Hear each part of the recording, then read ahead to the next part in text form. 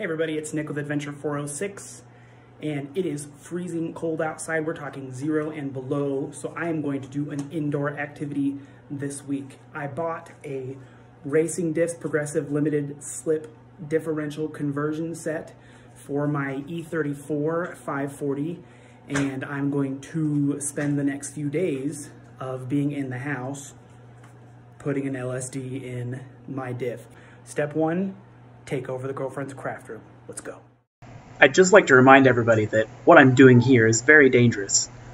If you have a crafter in your life, you'd know that this room is sacred to them, and my presence in here is counterintuitive to their existence. If I go missing next week, please check the freezer first, and then, of course, the garden in the springtime. Let's take a look at what's inside the box here, nicely packaged. We've got a cotter pin, some stickers, paperwork, instructions, and then this nicely little packaged thing here, which um, it's got our full kit. We've got the springs, the locking pin with the ramps on it, shims, and of course the blocks that hold the springs. First thing is popping the stub axles off.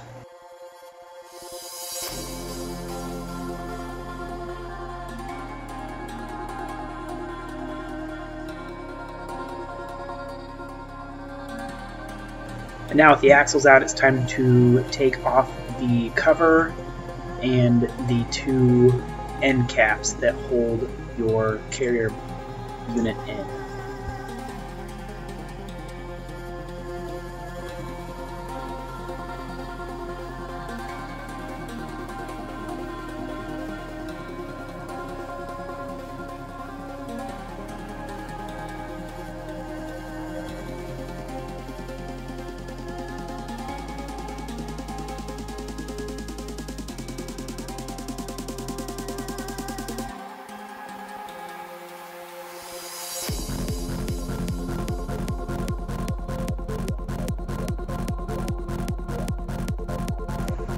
Now you can set that diff cover out of the way.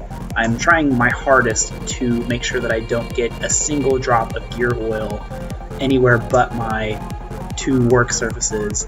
I'm trying to leave as little evidence as possible so that I don't get murdered for stinking up my girlfriend's craft room with gear oil, which is probably the smelliest automotive fluid on the planet. Now you can see I got the first cap off pretty easily. Then I roll it over here and uh, try and get the second cap off. The trick is to twist them and kind of lift up at the same time.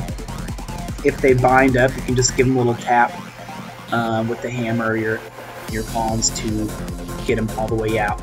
Now we'll set the carrier back the right side up and pull out your gear unit. Make sure to mark or label the caps or set them in a way that you'll remember which side they go back on as the shims um, set the backlash for your ring gear. While you weren't looking, I popped the um, reluctor ring for the speed sensor off, and right now I'm just popping out the cotter pin that holds the central pin in. Let me just say that the instructions for this from the uh, LSD uh, racing diffs conversion people say to remove the ring gear to avoid damaging it. I'm a flat rate technician, so my first idea to try and get this done faster was to leave the gear on.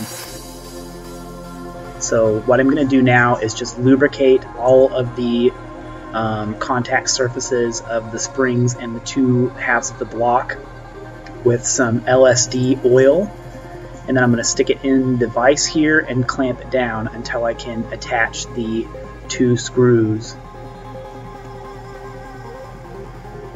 Look at all that effort. Grunting. So much grunting.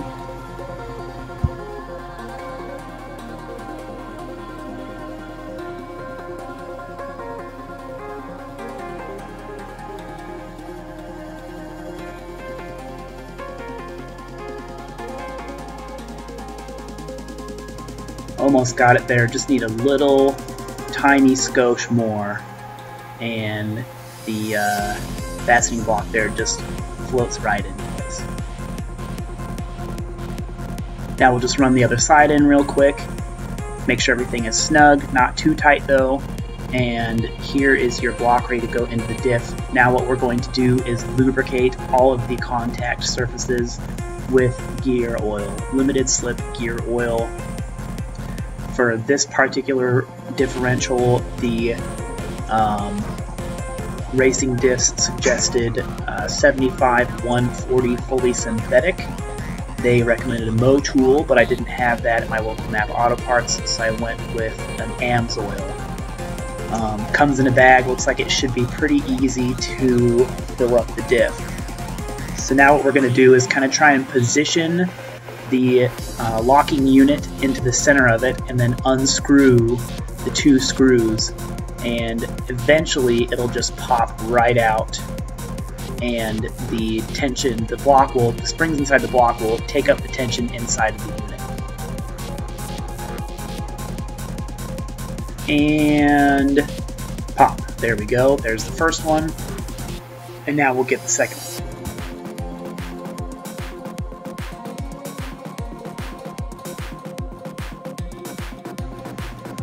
And pop. Now we'll get that little screw out of there. We don't want to leave any evidence behind. And then we will take out the remaining two screws as we don't need those any longer and then what you need to do is tap the um, spring set into a central position so that you can slide the locking pin right through the other side. There it is, sitting in there nice and pretty. And beep bop boop, here we go. Before you start tapping that shaft in there, you want to make sure that the hole for the locking cotter pin is straight up and down, so that way you don't have to knock it back out and reinsert it when your cotter pin doesn't go in all the way.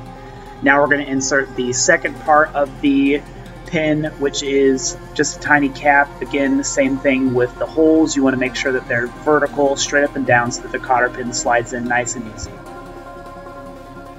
Alright, now that we've got both halves of the central pin in there, we're going to tap this cotter pin in and set it down until it is flush with the carrier.